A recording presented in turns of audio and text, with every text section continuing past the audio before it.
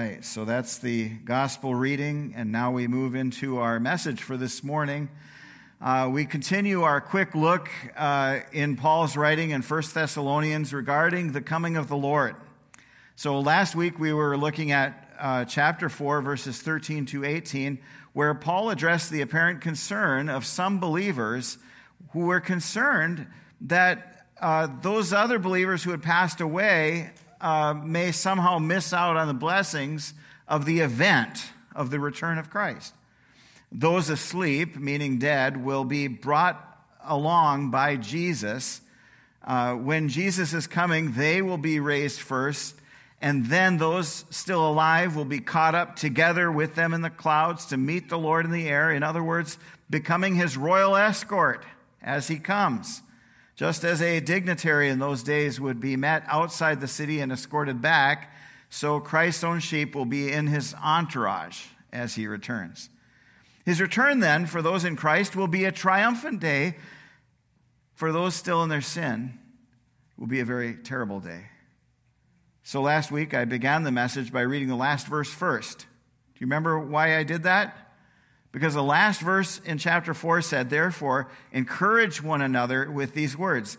In the passage we read last week, then, this was the one imperative command in the whole passage, the one thing that the believer was uh, supposed to do as an action.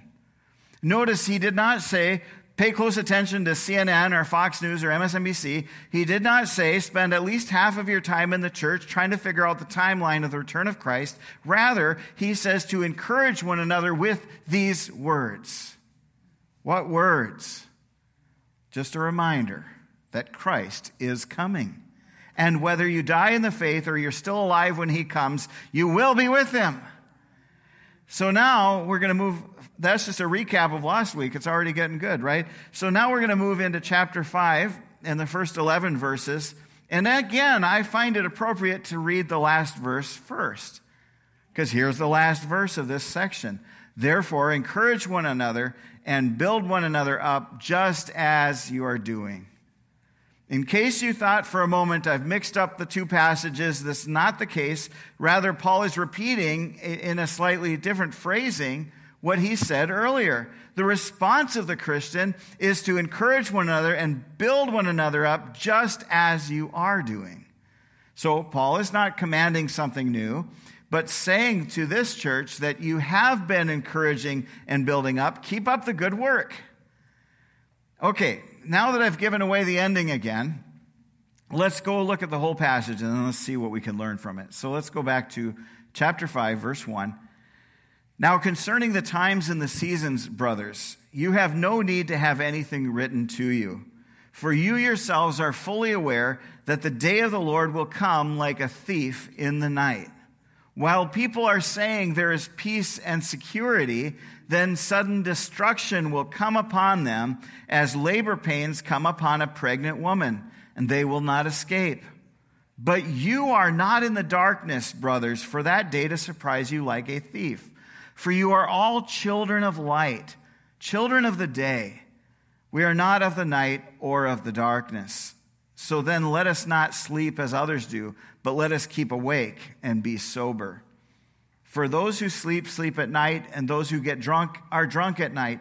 But since we belong to the day, let us be sober, having put on the breastplate of faith and love, and for a helmet, the hope of salvation. For God has not destined us to, for wrath, but to obtain salvation through our Lord Jesus Christ, who died for us, so that whether we are awake or asleep, we might live with him. Therefore, encourage one another and build one another up, just as you are doing. Now, before I begin our verse by verse breakdown of this passage, let's remember what our theme and focus of these last several weeks have been and that is evangelism and inviting others into the church to hear the word of the God proclaimed. So we are, have been in a period of prayer asking God to give us new souls that will come into our, his kingdom, asking him to fill our hearts with compassion and love for the lost, and that we may be able to welcome them in and teach them and help them to grow in the faith and adopt them into our Oasis family just as God adopts them into his great family. When we look at 1 Thessalonians, especially these last two chapters, these are verses that ought to encourage us greatly and spur us on to love the world around us, and especially those in close proximity to us, enough to give them the gospel truth. So, just as Paul thought it important to remind the church of the promised second coming of the Messiah of Israel, Jesus Christ, who will come in glory and majesty, but also with fierce judgment towards those who reject him. And throughout all of church history, people have been concerned with wanting to know when will this happen? On the one hand, that's perfectly normal, probably, to have some curiosity. In every generation, people have been faced with some events that cause them to despair or to be more certain that the coming of Christ is right around the corner. There's no way he won't come before Caesar does this or that. There is no way he won't come before this Inquisition is over. There's no way he won't come before the Germans get to France. There's no way he won't come before X, Y, Z. And certainly there are plenty of modern so called prophets who continue to make predictions. When I first came to my previous church, someone gave me some CDs on the blood moons, and I listened to them. Well, I listened to about one and a half of the messages, and I couldn't take it anymore. And the lady who gave this uh, CD collection to me, she insisted these blood moons were symbols and signs that we as believers must be sharing things like this so no one's caught off guard because the, these blood moons were the indication that everything is going to finally wrap up. Well, the blood moons came and went. There's been several since. Nothing happened. Yet, those who made those predictions, did they lose their audiences? Sadly, no despite scripture telling us that if someone makes a declaration of something happening and it doesn't happen, they are not a prophet. Many go about saying they have a word from the Lord or a prediction. Their word doesn't come true, the dates do not work out, and rather than people leaving them, they excuse the error. When I was a boy, it was 88 reasons why Jesus will return in 1988. Does anyone remember that one? People throughout church history have been writing books like this. A few years ago, a lady that I know got caught up in following some rancher from Oklahoma or Texas or somewhere uh, who developed a following on the internet who actually set a date of return for Christ. And this lady even made statements the week before, like she wouldn't see us next week at church. We would all be with Jesus. And the next Sunday, did she even act sheepish? No. Did she stop listening to the rancher? No. I went to see what this guy was saying on his Facebook page or whatever he was on. And like a lot of these so called prophets, he would say things like, Oh, if your pastor isn't preaching these things, you need to get out of there. Don't trust pastors. He was really like, you know, says the guy sitting at his kitchen table recording crazy predictions on a laptop, you know. Um, well, I, for one, I'm going to stick with the word of God. Thank you very much. Second Peter 121 says, For no uh, prophecy was ever produced by the will of man, but men spoke from God as they were carried along by the Holy Spirit. Now, before I get too far off on that subject, let's get back to our passage. Verse 1 Now, concerning the times and seasons, brothers, you have no need to have anything written to you. Why do they have no need to have anything written to them? Because they've already been taught this. Jesus himself clearly taught that date guessing is a waste of time. Be aware of your surroundings. Watch and see what's going on in the world by all means, but be careful about trying to figure out when Christ is coming. The point is not the when, but the assurance that it will happen. Jesus told his followers that many people would be falsely proclaiming things about his return. In Matthew 24, Jesus answered them See that no one leads you astray. For many will come in my name, saying, I am the Christ, and they will be, lead many astray. And you will hear wars and rumors of wars. See that you are not alarmed, for this must take place, but the end is not yet. For nation will arise against nation, and kingdom against kingdom, and there will be famines and earthquakes in various places. All these are but the beginning of the birth pains. Then they will deliver you up to tribulation and put you to death, and you will be hated by all nations for my name's sake. And then many will fall away and betray one another and hate one another. And many false prophets will arise and lead many astray. And because lawlessness will be increased, the love of many will grow cold. But the one who endures to the end will be saved. And this gospel of the kingdom will be proclaimed throughout the whole world as a testimony to all nations, and then the end will come. Let's move on to verse 2 in 1 Thessalonians 5. For you yourselves are fully aware that the day of the Lord will come like a thief in the night. Jesus used several illustrations about the suddenness and surprise that his coming would entail. He also used the illustration of a thief or a burglar. The burglar doesn't set up an appointment to let you know he's coming. I got a text this week, earlier in the week, from our pest control guy. We will be servicing your house on Friday. The burglar doesn't send a text. He shows up when you do not expect it. So it will be when Jesus comes. If you do not expect him to come today, then be ready because he said he will come when you do not expect it. Verse 3 While people are saying there is peace and security, then sudden destruction will come upon them as labor pains come upon a pregnant woman, and they will not escape. So the day of the Lord will not come, as many seem to think, on a day when the world seems as unstable as can be, it will come when things seem peaceful. As labor pains come upon a pregnant woman and they will not escape. This was in the days before epidurals, by the way, and the medicines that can slow down or even reverse early labor, which we're thankful for. In those days, when the labor pains came, the pregnancy was coming to an end. The baby was coming, whether mom and dad are prepared for it or not. So that was then. However, the people of God should not be surprised. Even though the timing of this event is unknown to us, it should not be a surprise. Why? Because we should always be ready. 1 Thessalonians 5, starting at verse 4 But you are not in darkness, brothers, for that day to surprise you like a thief, for you are all children of light, children of the day.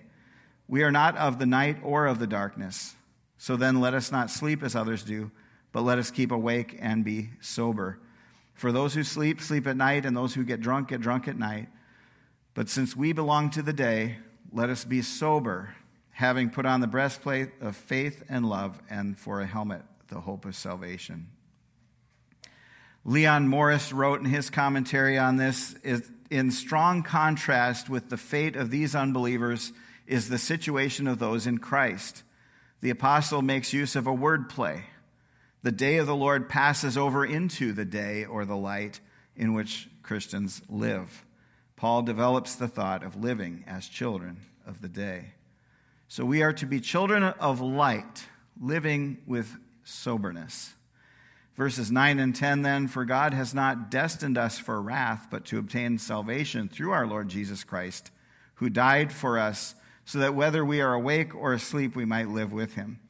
Now, I want to talk about this for a moment because some believers still fall prey to the teachers who say, well, if you come to Christ, then life will be easy. You'll be protected from all evil. You will never get sick. You'll have wealth, and so on. Also, many Christians believe that they'll be rescued by the rapture and never get persecuted. This is one of the verses they point to. God has not destined us for wrath, they'll say. Therefore, uh, I'll be snatched up before anything bad ever happened to me. Well, the logic is we're not destined to wrath, then we'll be removed, right? Before God pours out his wrath in the judgment bowls. Well, it is definitely the case that believers will not endure the wrath of God. It is also definitely true that we will at times endure the wrath of people and the wrath of Satan. When you read the apocalyptic literature in the Bible, it is clear that Christians will be targets of the Antichrist and the beast. So when Paul writes that God has not destined us for wrath, he's not talking about the wrath of people or the wrath, wrath of Satan. Certainly, Paul himself could not have said that. He endured all kinds of wrath. What he is saying here is that we who are in Christ are not destined to receive the wrath of God. And that's a very good thing because the wrath of God is what Christ already took on our behalf on the cross. Romans 5 9, since therefore we have now been justified by his blood, much more shall we be saved by him from what? The wrath of God. So, R.C. Sproul used to say to people, uh, What are we saved? Saved from what? He actually had a book called Saved from What? Because people would say, Well, I'm saved. What are you saved from? And people would say, Well, I'm saved from my sin. I'm saved from uh, a bad life. I'm saved. From... What are we actually saved from? The wrath of God.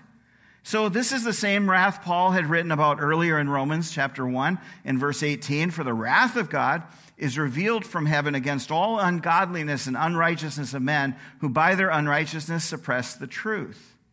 But Jesus delivers us from that wrath.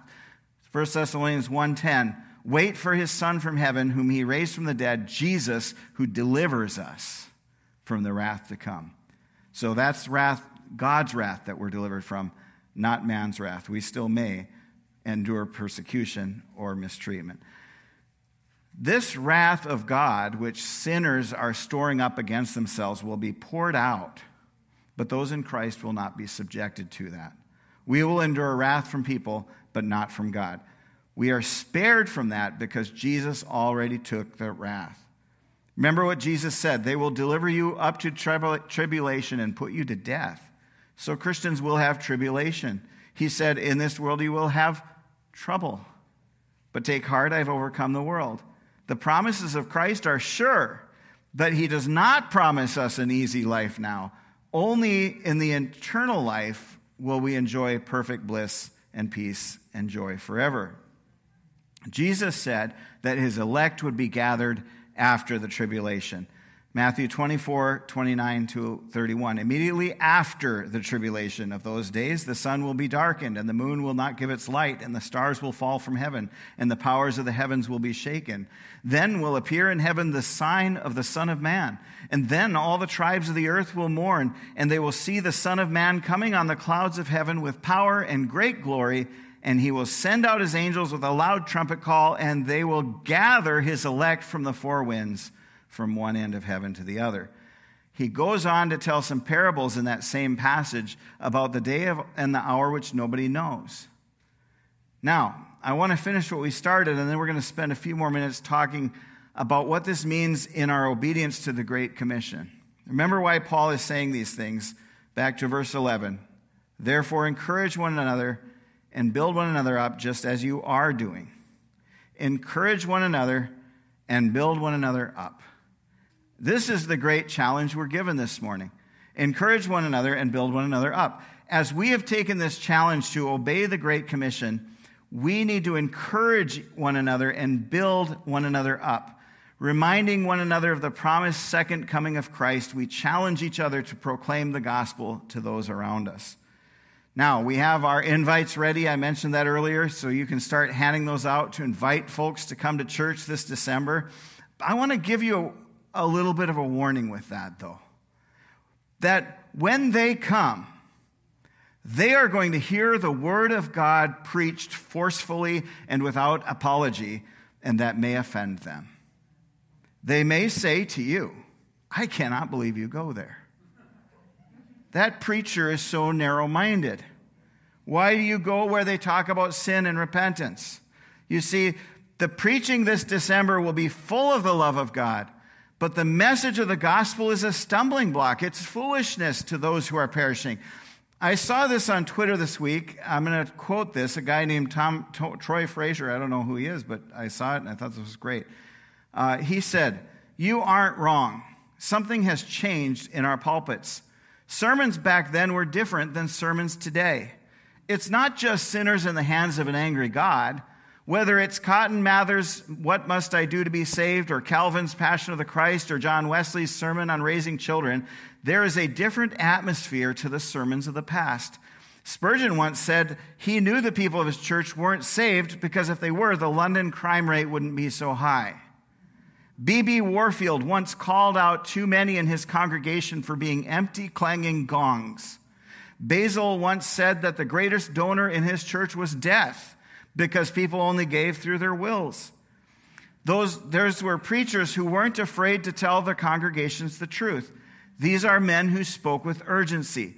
Spurgeon once compelled his congregation, commanded them, begged them, reasoned with them, bargained with them, in the end said, If I have left off any other way to tell you to come to Christ, do not let the method put you off, just come to Christ. Increase, as the name of another preacher, once preached to his congregation that self murder, that suicide, was a sin, and later a man told him he was planning to say goodbye to the church and die that day. Samson Occom told a man literally about to be hanged, as the execution preacher this man requested, there was only one minute left to repent before he burned forever. Then he turned to the audience for the execution and told them all that this was the fate of their, of their congregants if they didn't take the call to preach Christ seriously. Lemuel Haynes once preached against universal salvation the very minute a universalist stepped out of the pulpit. He didn't wait until the next week, he preached right then. Peter Kierkegaard, late in the evening after an entire Mormon service at, his mother, at a friend's house, then gave a two hour rebuttal to the Mormons while people checked the Bible for every reference he made to Scripture. He didn't say next week we'll give a Bible study on it. He did it right then. Why were they urgent? They knew they had to be. D.L. Moody once was worried he'd whip his congregation into making an emotional decision for Christ, so he told his congregation that next week he'd make an altar call, that this week Think long and hard about it, and next week come ready to give God your life. And as they sang the last song of the day, he heard city bells ringing. Before he could even get home, half the city was ablaze in the great Chicago fire. Several of his congregants died, and he never again preached before that congregation. His church went up with the flames. He vowed to never make that mistake again. Spurgeon, while preaching, had a similar fire incident. When a man shouted fire in his very crowded church, the people ran for the doors. Many were injured and people died. He learned that people sitting in his church pews that week might not be the next. Jonathan Edwards, early in his revival preaching, got the unexpected news that his uncle, convinced that he would never be saved, had killed himself. If not for the preaching of Whitefield in his church a year later, that might have ended the Great Awakening forever. Listening to Whitefield, he realized the words had not damned his uncle, but that if he did not preach again, others may be lost. He felt surrendered and renewed again. These men knew that the words of the gospel were life, and that the preaching of it meant everything, that the days were urgent, they weren't worried about sound bites, book deals, conference speakers, podcasts, social media tweets, or all these other things that we care about today. They knew the call was urgent and the gospel was powerful when preached by those who believe it. After years of reading their sermons, two things stand out again and again. They believe the Bible and preach it in such a way that makes you believe it as well.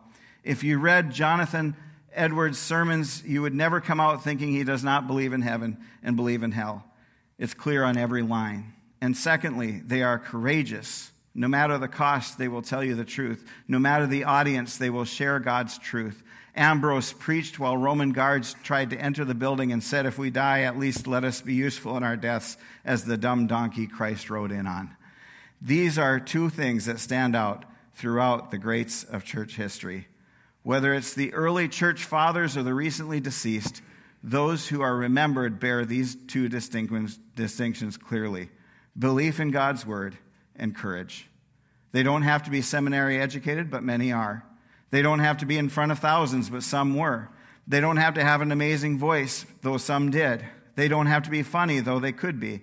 The two things that unite poets like Richard Sibbes, young men like Andrew Gray, old lions like Warfield and Machen, and passionate preachers like Spurgeon and Wesley is this belief and courage. Let us go and preach and teach and minister in such a way. Let us believe God's words so truly it draws others to believe it. And let us do so courageously without the fear of man entering the picture. And let us be urgent, for the days are shorter than we realize. End quote. Every time we have visitors in the church, I'm hopeful. Maybe they'll join us and become part of us. Maybe they will receive the gospel. Yet many visitors never return. You could blame lots of things. A location was bad, there were no cappuccinos, we don't have the right kids program, we don't have a fancy enough building, the website's not engaging enough. But really, what we must realize is that while these things may have some effect, and people may say those things are the reasons, that really what is lacking is their own desire to be in a church. Many people wander from church to church. They say, uh, I'm checking out all my options before I settle into one church. They may say that oh, I didn't feel the message. They may say the preacher preaches and I don't like that. Give me a storyteller or a comedian instead. Give me someone more handsome. However, what is needed is the power of God to draw people to Himself. There's no formula we can use to accomplish this. The only thing we can do is ask Him to do it.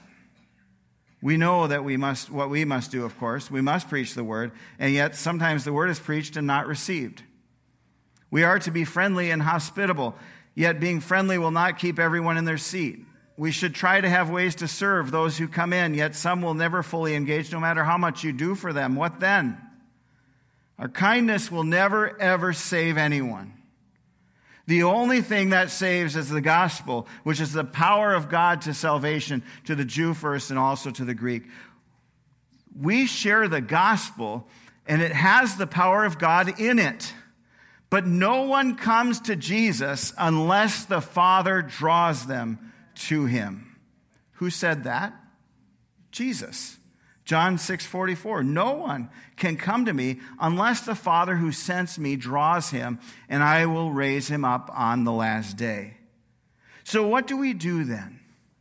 We plead with God to draw men to himself, while at the same time asking for his empowerment and grace in our lives as we go out and share the gospel with others. We ask him to help us not to be discouraged, not to get worthy, weary of doing good. And when someone comes to Christ, we give all glory to God because it wasn't our nice church or our nice presentation that brought them to belief. It is the power of God. He gets all the glory and all the honor. So let us keep praying to him and pleading with him to do the very powerful work in and through us. The day of the Lord is coming. For those in Christ, the day of the Lord will be a day of wonder and triumph.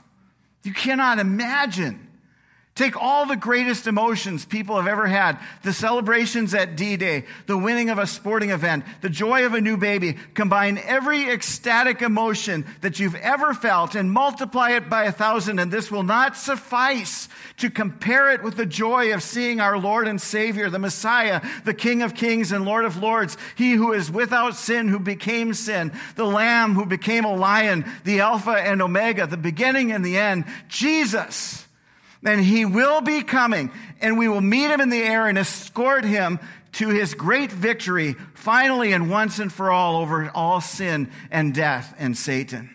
If you are in Christ on that day, you will be rejoicing, and that rejoicing will continue through all eternity. Jesus is so wonderful, so amazing, so awesome, so worthy of praise that it will take all of eternity for us to express our adoration and praise to Him.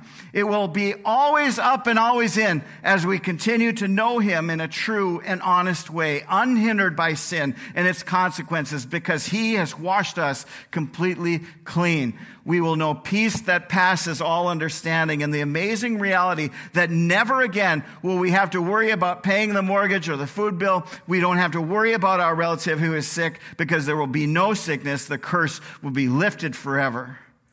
Therefore, encourage one another and build one another up, just as you are doing. That is the day of the Lord for the believer. And much more could be said. Yet for the unbeliever, it will be a terrifying time, a horrible experience you cannot imagine. If you cannot imagine the wonders of heaven, neither can you imagine the horrors of hell. If all the descriptions of heaven in Scripture are but a reflection and are descriptions of the wrath of God being poured out, also, and all sinners who have not repented of sin and turned to Christ will endure for all eternity the pouring out of the wrath of God, which they are storing up for themselves with each day and with each new sin. And so our job is to evangelize. And that job to evangelize must take on a new seriousness, Oasis Church. Which eternity will you have? How about your neighbor or your coworker or your family members? Do we have the compassion we need towards them? Do we concern ourselves enough to warn them of the wrath to come? Would we water down the gospel to make it all seem very nice? Please take Jesus and do me a solid. Or do we plead with people to abandon their sin and cling to the cross of Christ? So, yes, please take the invites and invite people to hear the gospel. I promise you this the gospel will be preached every Sunday in December. I will be as clear as I can be with the Lord's help. You need to know, though, that your guest who comes to visit may hate the gospel. And they may hate you for having brought them. They may never be warm towards you again. The gospel divides people. Jesus told us it would. Are you willing to take that risk? For the sake of the glory of God, who is glorified when we're obedient to Him, will you take the risk of losing their friendship? Or would you take an even greater risk and ignore the great commission of God who has given it to you and to me as a command? Let us not sleep as others do, but let us keep awake and be sober. And let us evangelize our community for the glory of God. Let's pray. Lord, thank you for your word this morning. As we've been praying, Lord,